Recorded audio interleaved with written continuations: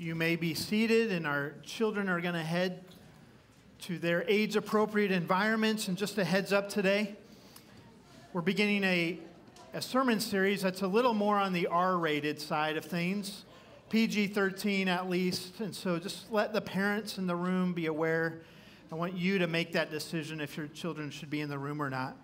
We're going to be starting a new series on the book of Hosea in just a few moments. A couple business items. First, I just want to say uh, thank you. There are a number of individuals who have moved to the 9 o'clock service. I gave that challenge to the church a few months ago. We launched a new service.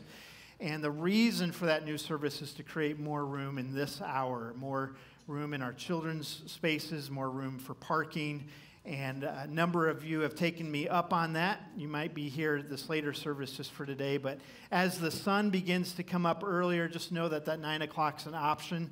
I may need to ask some, a few more of you to consider moving to 9 o'clock. Why? To make more room here at, at 1030. So uh, thank you for responding to that the last few months. Last weekend, church, we celebrated 13 baptisms. And yes, thank you. And if you give and serve here at Boulder Mountain, you're a part of that life change. So, so thank you. Uh, based on Isaac's question, what is the mission of the church? I already made a note make mission more memorable, right? Uh, our, our mission here at, at Boulder is we make disciples as we help people find and follow Jesus. So last weekend, People identified their faith in Jesus as they went public with their faith through the work of baptism.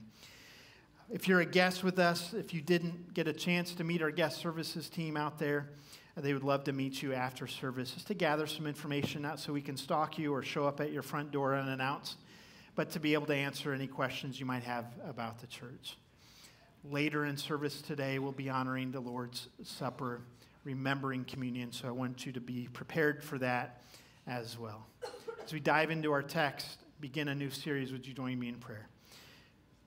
God, I ask that your Holy Spirit would move in this room, that you would convict, encourage, empower, illuminate, enlighten, challenge, support, whatever we need.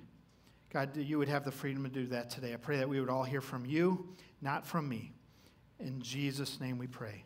Amen. We're beginning a new series on the book of Hosea. Hosea.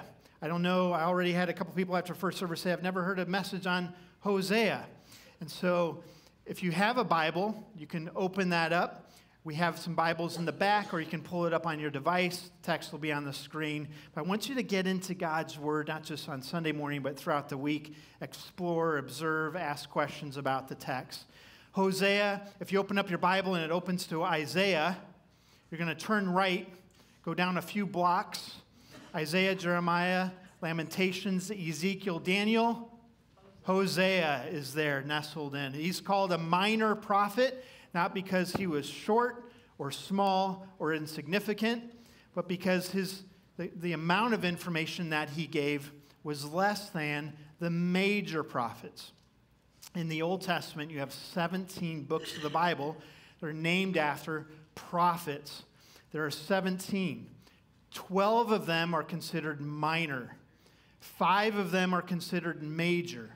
They all have really important things to say. They're not called major and minor based on the importance, but based on the amount of content that they had. So Hosea is one of those minor prophets. There's 133 prophets by name in the Bible, 16 of them are women. A prophet would take what God would tell them, and their job was to communicate that to the people. A lot of prophets, Elijah and Elisha, had actually school for prophets. You wanted to be a prophet, the nation of Israel, you could go to the school to be a prophet. Hosea, of the 12 minor prophets, they were, when you're studying the different literature of Scripture and somebody says the 12, they're not talking about the 12 disciples. We're talking about the 12 minor prophets. And if I was given the assignment to be one of the 12, Hosea would be number 12 on my list. I do not want to be Hosea. You do not want to be Hosea, but he got the lucky straw. God asked him to do some things. What was the role of the prophet? Role of the prophet was primarily to proclaim truth. Large majority of what a prophet did was simply speak truth. Vast majority of the content of those 12 books, of the 17 books, speaking truth. This is what God says. Most people think when they hear prophet, they think, oh, they're, they're telling the future. They're prediction, predicting the future. That's something they did. It was a very small part of what they did. But they would reveal things about the future based on what God said to them. Those are the first two things, right? Proclaim, predict, and then every once in a while, God would ask the prophet, say, hey, that's not enough. I need you to, to go a step further. This is like bonus. I need you to demonstrate. I need you to do something, not just stand and speak, not just proclaim, not just write a letter, but I need you actually to demonstrate with your life some things. And you think if you know some of the prophets, they were asked to do some, some crazy stuff. Hosea is one of those. We're going to look at that today. Prophets predicting, proclaiming, and then living their life out. And that is same that is true for me, and I would believe that is true for you. If God has something for you to do, if God is using you to share with someone else, it first has to come into you. You have to wrestle with it. You have to kind of work through that text, let it kind of seep down into your soul before you can tell somebody else it. Think about the hard truths you've had to learn in your life. You had to live that before you could communicate it to someone else. And the same is true in the book of Hosea. Now, Hosea was a prophet to the nation of Israel. A little context about Israel as we, as we dive in. Israel at this point is in the middle of a civil war. There's a north and there's a south. We know something about that, right?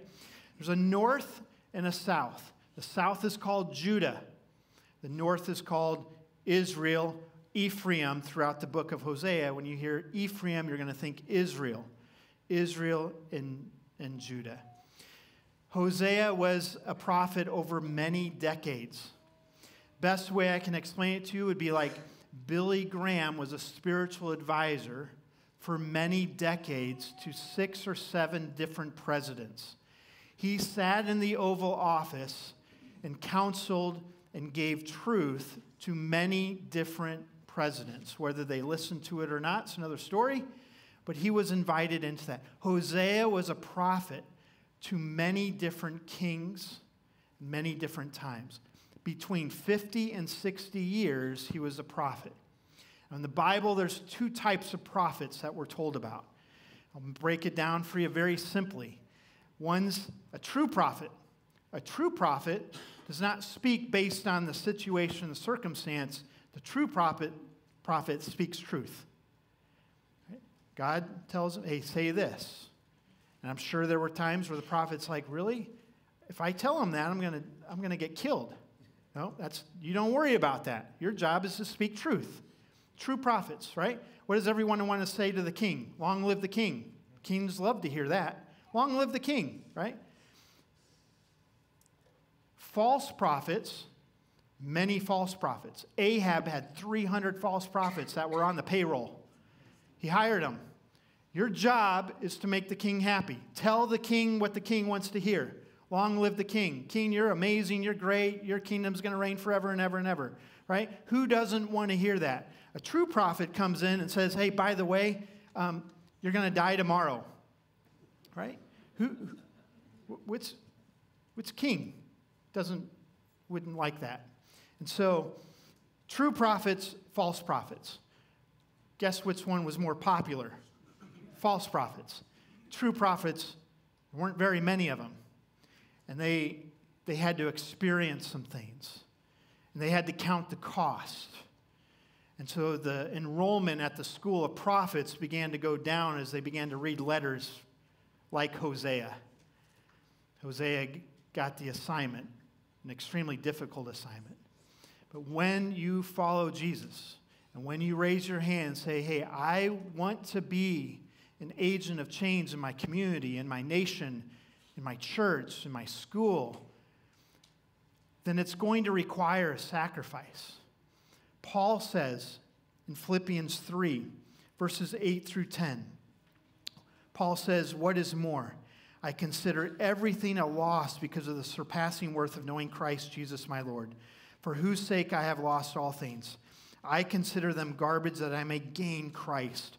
Paul, modern day prophet, right, in the New Testament, Paul is writing saying, As I communicate and as I grow in my relationship with Jesus, I understand that I am to share in the sufferings of Jesus.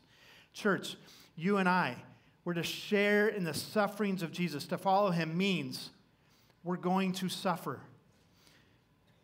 One of the first lessons Hosea is going to have to experience is the, the suffering. God wants to communicate something extremely important to the nation of Israel. And sometimes a letter just won't cut it. And so he takes an individual, his name's Hosea. he says, Hosea, I want you to not just write a letter, not just give a sermon, but I want you to live this out in your life. In 1936, King Edward VIII was on the throne in England. He was only there for a year before he abdicated his throne, but for the one of the first times in history, he was going to give a speech to the nation of England, and it was going to be broadcast on radio for the entire nation of England.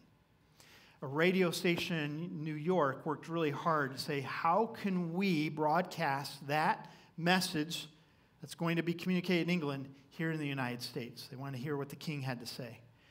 So the radio station works really hard and they do all the tech work. And five minutes before the king comes to the podium to, to speak, and that radio transmission is going to be broadcast, one of the assistant engineers in the room walks across the room and kicks the cable, and the cable comes unplugged.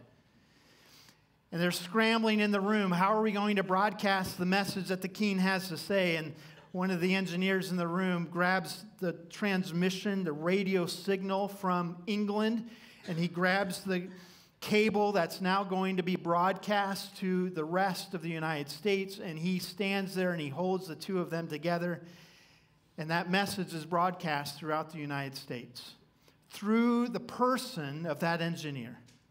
If you want to know what a prophet is, that is the best illustration I can give to you.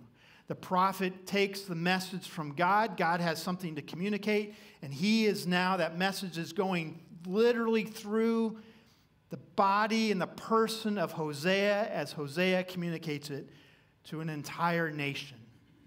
That's what Hosea was called to do. A little background on Hosea.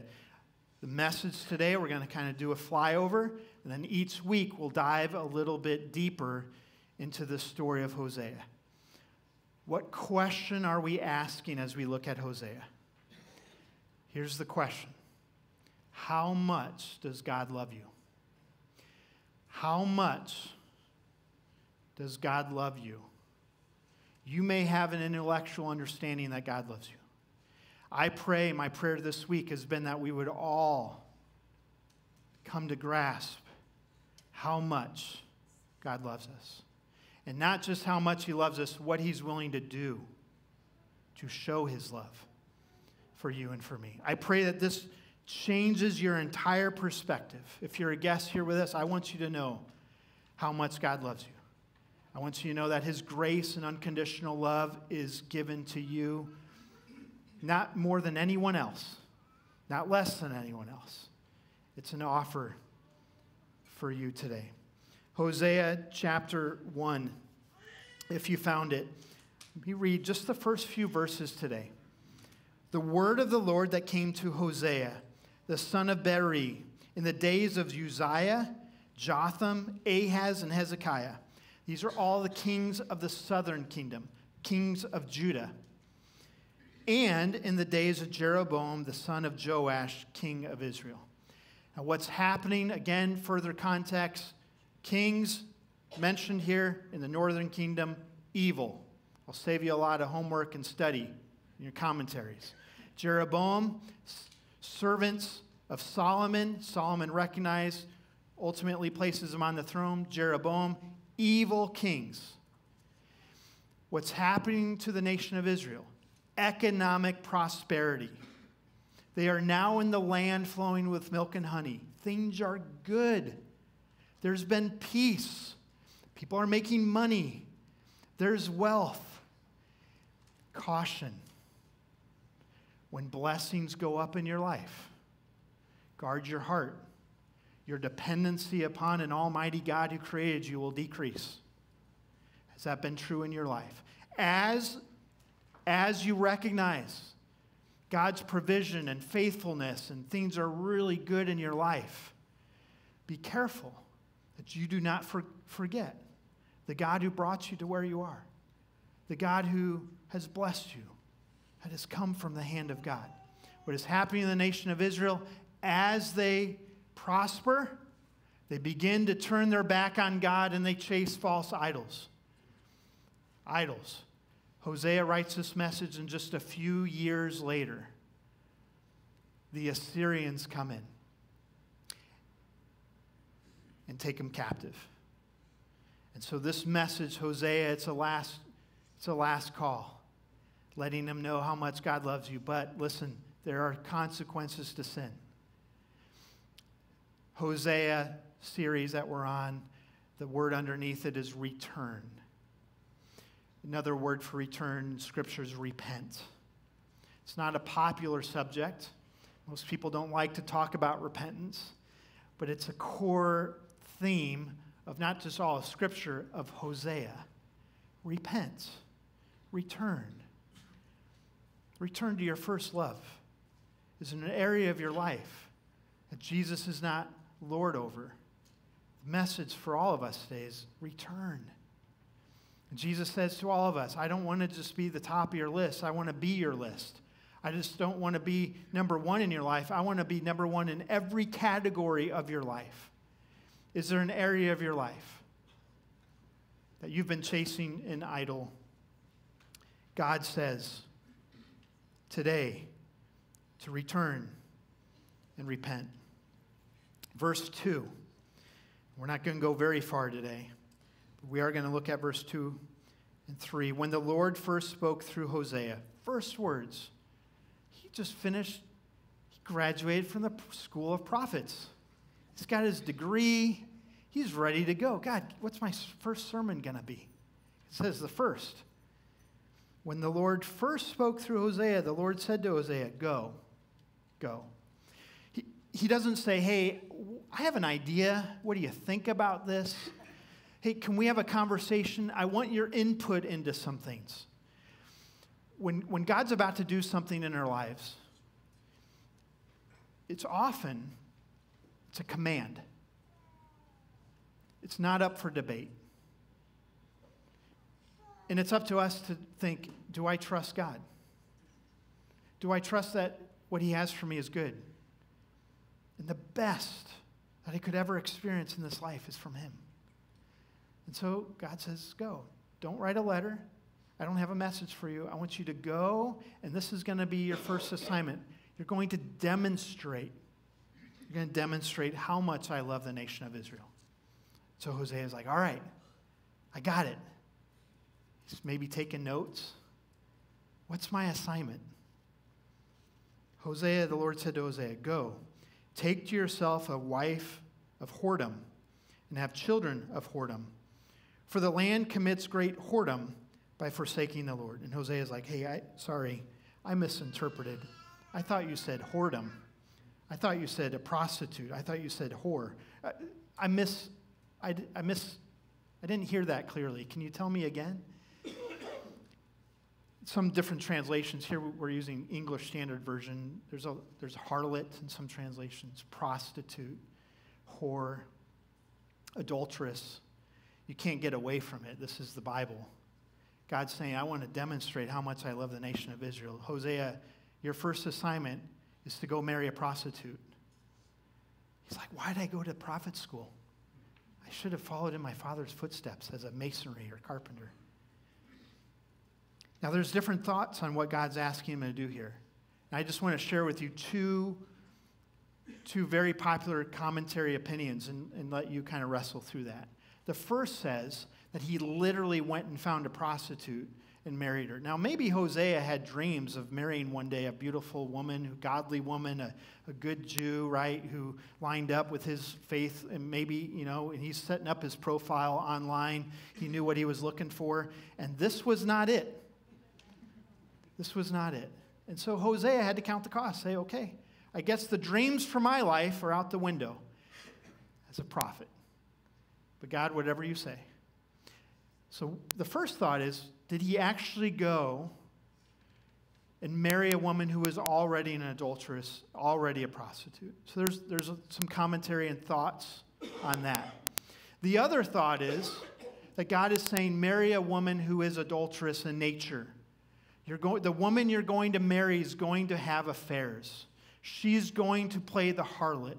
Hosea, you're going to marry a woman who's going to break your heart time and time and time again. She's going to betray you. How many of us would choose that?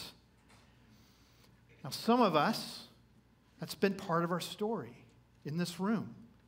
Some of our marriages, we've experienced adultery or we've experienced we were the victim or that's something we've done. And God chooses to use this to demonstrate and to show how much he loves the nation of Israel. Now, it's important to note this is not a book on marriage. It's a book that talks about marriage.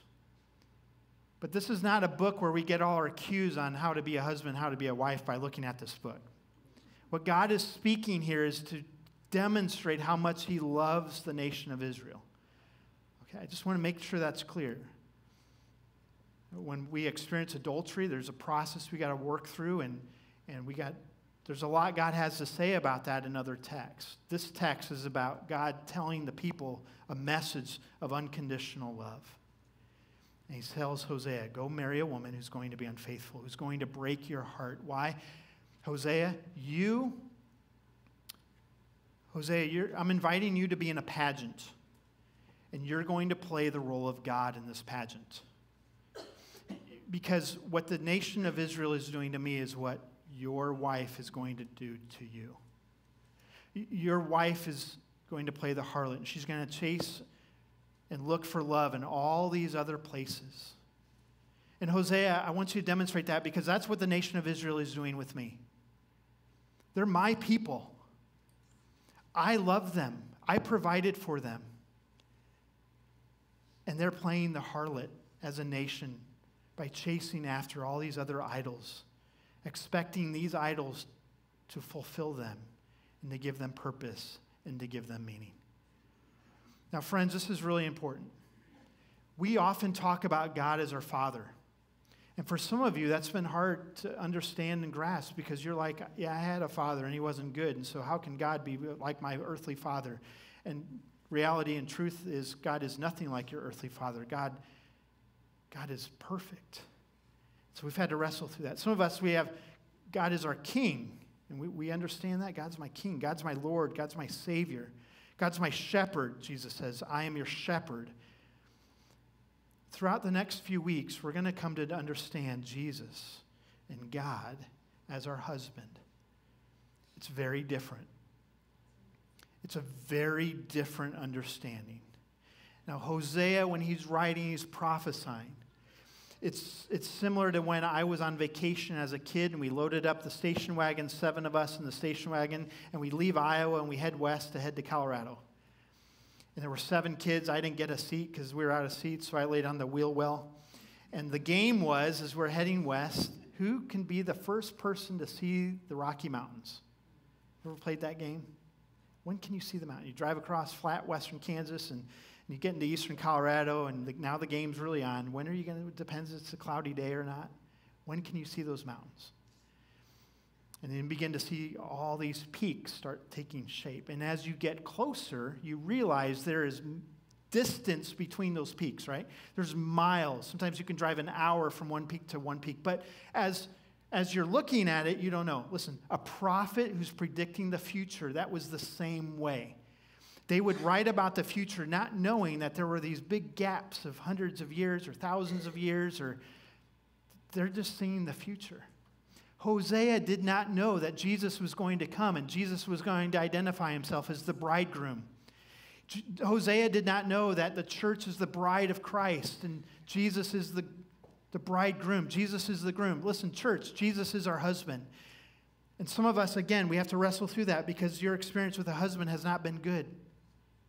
And we have to understand a perfect husband, a perfect Jesus, is faithful, will never abandon you. There's nothing you can do where he's going to walk away. There's nothing you can do where he says, I, I choose to divorce you. Jesus will not do that. Jesus is the perfect husband. And I want to talk to you about marriage. It's not a marriage study, but for us to understand that God is our husband and God is faithful to the nation of Israel, even when they're not faithful. This is really important. There's three things I want to share with you when it comes to talking about marriage. Number one, if you've been married, if you are married, maybe you haven't been married, but you would understand this. Your marriage relationship is your number one priority in, in this, on this planet. It's your number one relationship. If your marriage is strong, and everything else in your life is falling apart, you wake up in the morning, you walk out of that house in a, you walk from a, a place of strength because there's security and there's confidence in knowing that the person who knows me the most loves me the most. And everything else, it's not that it doesn't matter, but it's almost irrelevant because you can come home and it's good. When your marriage is good, it gives you strength. There's a priority. When your marriage is bad and everything else in your life is really good, have you been there? I've been there. Early in our marriage, everything else could be going really well. Our marriage isn't good, and I leave the home from a place of weakness, and it bothers me all day long, and it, it nags at me and tugs at me all day long, right? Because there's a priority in marriage that's greater than any other relationship on planet Earth priority. What's God saying? You are my greatest priority. There is nothing greater. You are my number one priority. Now, I think Hosea heard this message and he had to work through this every day. It was a hard task. He had to be like, oh, really? Okay. I mean, I think it was really hard for him. He was probably had to have 12 support groups, right? He had to work through and say, well, let me tell you about my wife, right? He had to work through all that. It is not hard for God to love you.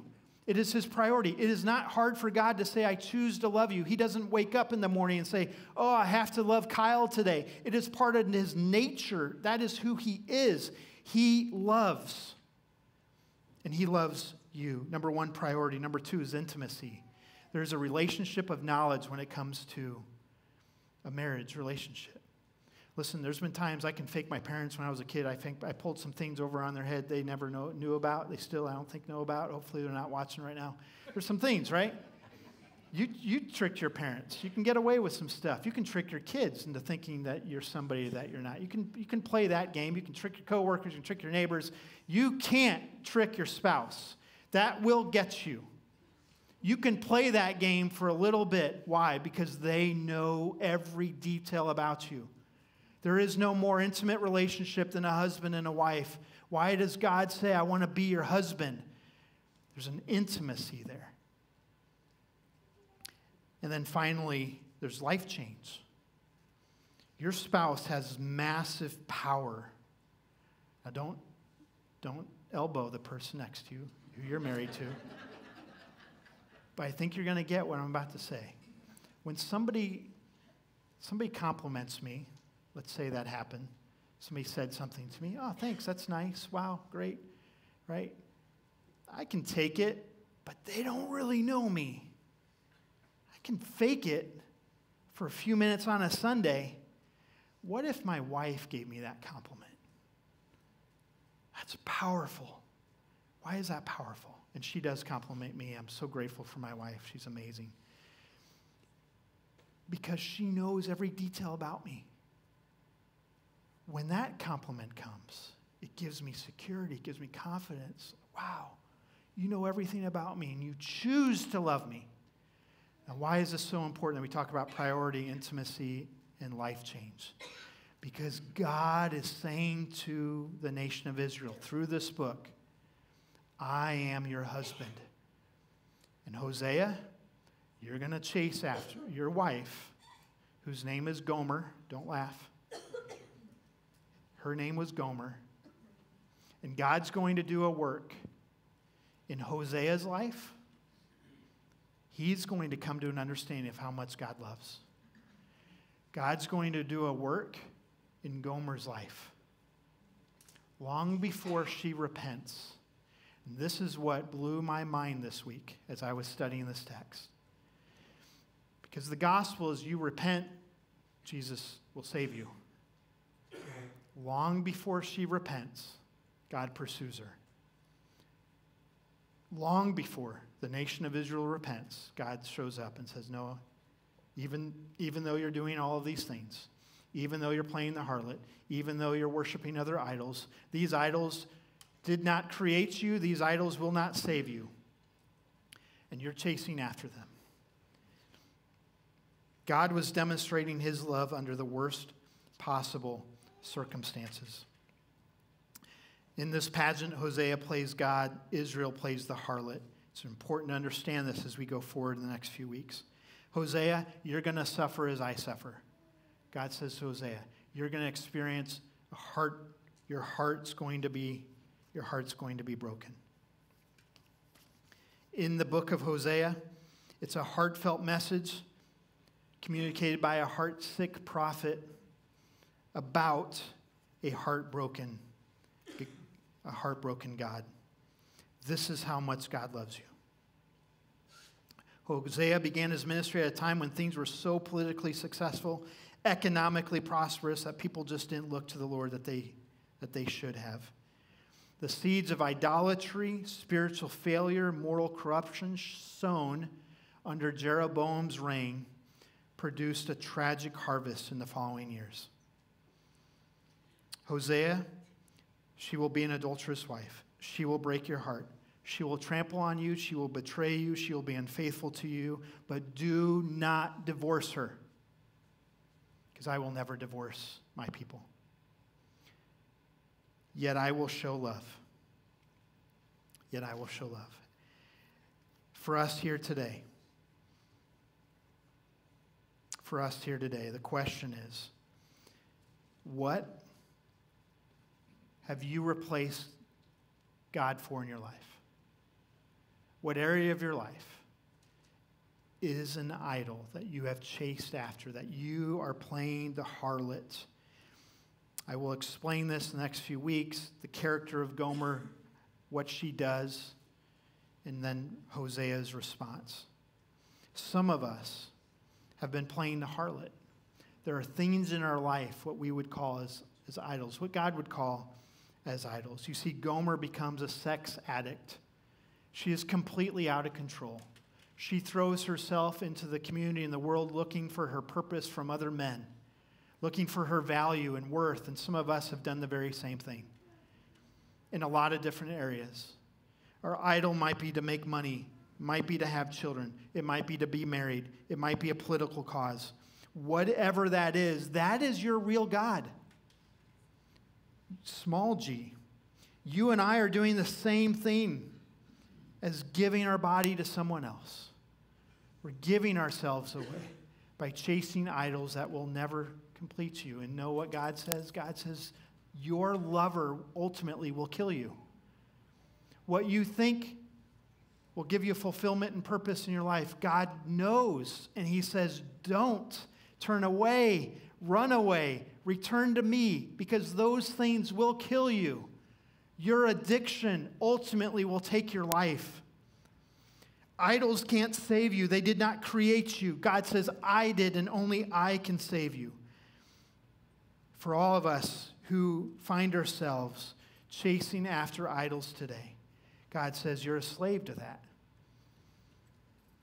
And God desires and longs to break those chains. We sang about it this morning. All my hope. It's not in this world, it's not in culture. It's not in my career. It's not in money. It's not in my family. It's in Him.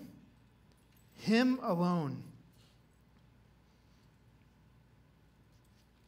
What did Hosea do? He did what God asked him. someday we're going to get to heaven and we'll have a chance to interact with some of the authors of Scripture. And so, let me just, this is a little side comment. If you don't know your Bible, I encourage you to read your Bible. If you know Jesus, one day you're going to be in heaven with them and they're going to come up to you and be like, hey, did you read my book? You're like, who are you? Hosea. My name's Hosea. Did, did you like my book? As you read the book, you'll be able to interact with Hosea and you can ask him, hey, tell me about that. You had to have struggled through that, right? And I'm sure he did. But he went and he did what God asked. And the first few chapters of the book of Hosea are going to talk about his personal life. Verse chapters 1 and 2 is about a faithful, faithless wife. Chapter 3 is about future restoration. Chapter 4 is about a fickle nation. Chapters 11, 12, and 13 is all about a faithful God. How much does God love you? So much so that He will never leave you, He will never divorce you, He will never forsake you. Despite all that we do, He remains faithful. Church, I want you to begin to understand and grasp that God is your husband. He loves you. This month, our culture will celebrate artificial love, passions and obsessions and infatuations. Don't buy the lie. Don't buy the lie. God's unconditional love is best for you and for me. If there's an idol in your life that the Holy Spirit's revealing to you, deep, dark, down in the nook and crannies where God says, I want to be, God says, I want to know every nook and cranny. I do know every nook and cranny, but I want you to know that I know, and I want you to confess to me, return to me, admit that. That happens through a couple of different ways. It happens by sharing that with a close friend another trusted follower of Jesus so you can sit down, you can be honest with, say, hey, this is what I'm struggling with. Some research says 70% of, of men struggle with sexual addiction. I've heard it said much higher than that 70% of men. If that's you, that's an idol. You're chasing after something you know will never fulfill you, never complete you. You know that. And God says, Return to me. It's going to be hard, it's going to take work. Confess it to another person. Every Friday night here in this room, we have something called Life's Healing Choices. We're in the middle of it. You can come, you can show up. It's a safe place to wrestle with some things, talk some things out that you might be struggling with. We all have stuff. Every one of us in this room, there's something that we struggle with. If not, you're one of the three or four people on this planet who's perfect. God's desire through the book of Hosea is to show the world how much He loves us. How much He loves us. How much He loves you. Would you pray with me? So, God, as we prepare our hearts for communion this morning, I pray, Holy Spirit, that you would, number one, remind us how much you love us, remind us of our position in you, that there's nothing we can do to fall out of your favor through the person of Jesus. We're not that powerful. Thank you for the redemption that bought us back, that removed those chains from us. And God, for anyone in the room who's, who's recognized that there is an idol, that they would have the wisdom to know what to do and the courage to do it. That they would take that step. God, thank you for your unconditional, faithful love, even when we are faithless. We love you. We pray you would continue to teach us as we walk through this special book. In Jesus' name, amen.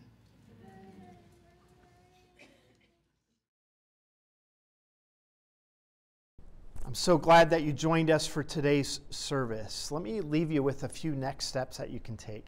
Number one, let us know that you're participating online. You can make a comment there in the notes. You can send me an email or you can give the church a call. Just let us know. We'd love to add you to our email list that updates our people on what is happening in the life of the church. Number two, if there's something I can specifically be praying for you about, I can give that prayer request. I will pray for you, but I can also give that to our prayer team. A third next step that you can take if you've been encouraged by the ministry of Boulder Mountain, even though you've maybe never been here physically, uh, let me encourage you to give. We believe that giving teaches us contentment. When we recognize that God's been generous to us, so at Boulder Mountain, we give first, we save second, then we live on the rest. So there's an opportunity for you to participate in giving through our church website. If there's anything else that I can be doing for you or, or Boulder Mountain can do for you by sending you resources, simply let us know. Otherwise, let me pray for you as we close our service. And so, for those, Father, who are not here in the room, we recognize church is not a building we come and sit in. So wherever they are at, we know and we believe that Jesus, you are with them. So I pray that they would sense your presence and your power. Holy Spirit, give them the wisdom to know what to do, and then give them the courage to do it. In Jesus' name we pray. Amen. God bless you this week.